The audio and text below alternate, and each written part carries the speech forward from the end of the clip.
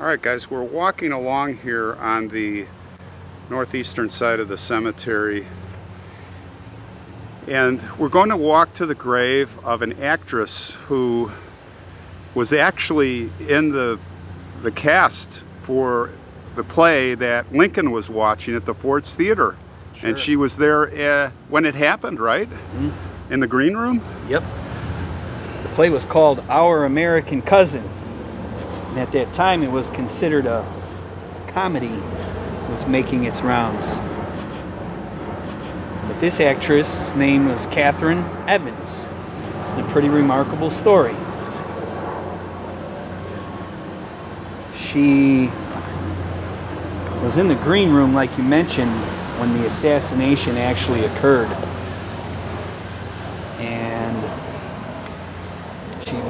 Saw John Wilkes Booth earlier that afternoon.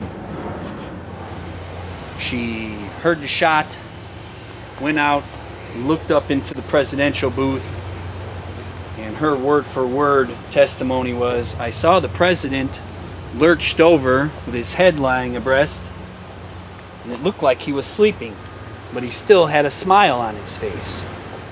Oh, that's eerie. I've never heard that before. Yeah. Uh, just seeing something here. I think this is one of those. Perpetual care? Uh, no, I think this is a daughter of the revolution. Oh. Yeah, that story that I was just telling you about the Richards family, the wife of Mr. Shippey, that is one of the markers. You pull that up just a hair. Uh, let's see here. Yeah. Daughters of the Revolution of America. Yeah, this is it. Neat. And there used to be one over by Mrs. Richards' mom. Sorry to jump subjects here, but... No, that's all right. Yeah, that's some crazy irony. We're always bumping into little Easter eggs like that, you and I. Anyhow, back to that afternoon. Uh, total commotion afterwards. You have all the Secret Service bodyguards and military officials, who there were many. Abraham Lincoln was actually in the booth with a, I believe he was a colonel, whose name was Henry Rathbone. He and his wife were sitting next to Mr. and Mrs. Lincoln during the actual assassination. You have total commotion. All the actors and actresses in the aftermath were immediately under suspicion because it came out that John Wilkes Booth, you know, was a sympathizer for the South. Um, Miss Evans' husband was actually detained and arrested. Uh, I don't believe he spent any time, you know, I don't believe he spent any time in jail, but he was uh, he was taken under as a suspect.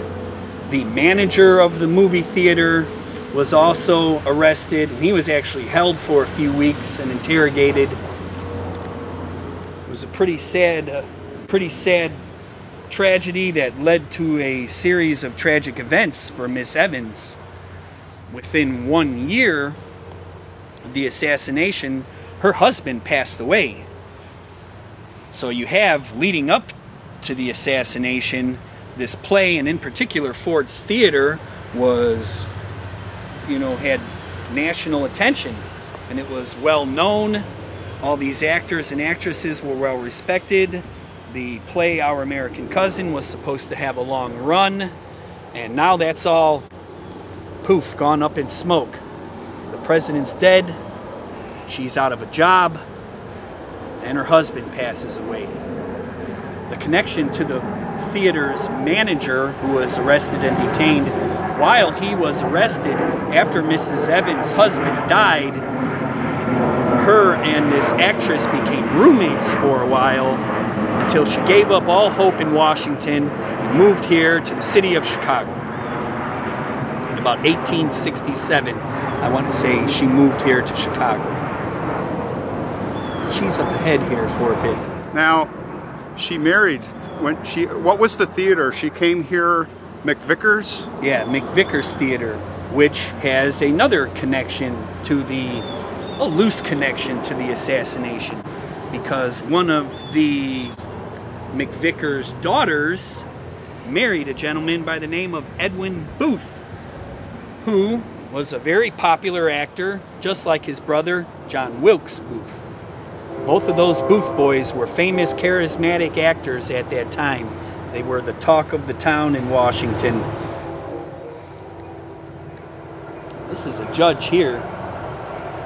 Just to kind of jump off and explain a little bit about this section, you and I have, uh, been somewhere near here before, visiting all the Scottish Masons. But here you have a lot of Civil War veterans, in particular captains, and a couple generals are here in this area. That after the war, once they came into town, you have a lot of the veterans getting into law practice. Therefore, you have Civil War veterans in this area who became famous lawyers, famous judges, clerks of the court. Wow, what do we got up ahead? We've got some damage here. Oh yeah. Looks like a big monument fell. As we got a chopper overhead. Gotta forgive the noise, gang, but One thing I will not miss from the big city is the noise. Oh my gosh. And as you get older, like an old man like me, it, li- I don't know, I, it used to not bother me, but like you were saying, you, you're hearing stuff now too. yeah. Can't Oh, yeah. sleep as good. As I'm getting older, You live, you of, live in uh, the city. any You- kind of commotion going on outside Yeah. the theater, I'm always up and I can't fall back asleep. This obelisk here looks like it came from right here. oh yeah. We've had some real bad, uh, we've had some bad weather over the last few days, but this looks like it might have happened months ago. I'm looking at the bottom of this obelisk and there's no pinning. How the heck?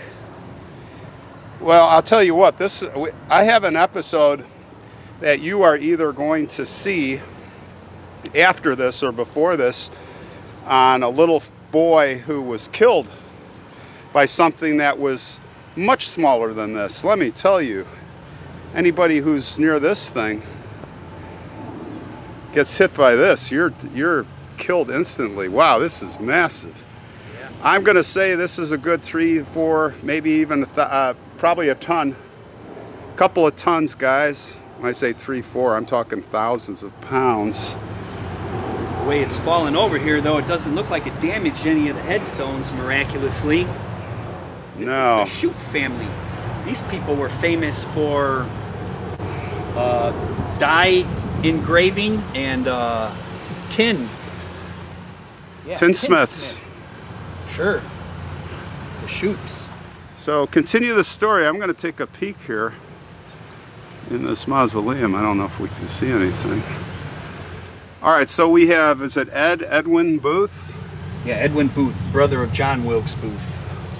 Nice stained glass. All right, so tell us what's going on with him now. So he marries her? Uh, no, he no. marries one of the McVickers, Ah, okay. daughter of a theater. So that's the theater. Theater downstairs. That's where I'm going to take you next. Okay. First, let's find Miss Evans here. Now, Miss Evans, you said, went, this is again the actress that was there when John Wilkes Booth assassinated President Lincoln at the Ford's Theater. She came here to Chicago and she went to work for the McVickers as an act- actor in her. Used to be called an actress, but now we say actors Yeah. in the McVicker Theater, right? Yes, sir. Uh, the McVicker Theater, the Blackstone Theater, one other one off the top of my mind I can't think of. Uh, she oh, was, she was at the Blackstone? yeah.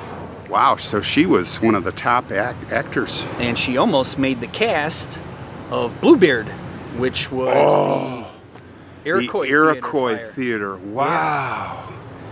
Yeah. Lots of coincidences. She lived a long life, and in her later years, she became famous for giving interviews on uh, just exactly what went down that afternoon in Ford's Theater. Well, the smile on the face thing, Yeah, I've never heard that about Abraham Lincoln. Yeah. That's kind of eerie very much so. because he uh, lived for what a couple of hours. Yeah, had all the surgeons from across the country flocking to, you know, emergency action to Washington to try to save him, do what they could, all the experts. We all know the outcome Yeah. Of that, though. Well, anyway, here she is. This Yeah. is her grave. Catherine Evans. Rest in peace, Catherine. You can go online and you can find a lot of her interviews that she gave. Uh, she did a few radio interviews. A bunch of writers covered her. Any old film clips? No, No. not that I can think of. Who knows? 1926, though. That's kind of that's still early. Yeah, not uh, kind of. What did she die of? Do we know? No, sir. Maybe somebody will, in comments, if you know how Catherine died, be interesting to know. Wow, what a story. What a great walk. Walking with Britain is always fun. My friend Britain. You got to come out to Arizona, dude. Absolutely. Then you can take me around and show me. You've already We'll go. We'll go. I'll take him into the mountains. blazing a trail out there. Yeah. All right. Do we want? Tell him to come to Arizona, will you? Everybody in comments. Britain, get off your dusty butt and get on the plane or drive. Road trip. Road trip. All right. See you guys later, and love you, brother. Love you too, man. We'll uh, we'll we'll see Britain again here on the channel. All right, guys. Catch you later.